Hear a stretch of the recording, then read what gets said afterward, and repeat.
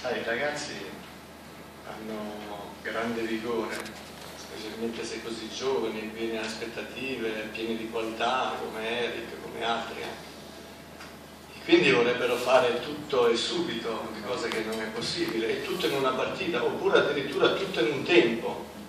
Mentre invece chi è un pochino più navigato, che ha un po' più di esperienza, sa che deve diluire la, la, la propria partecipazione alla gara nei 95 minuti.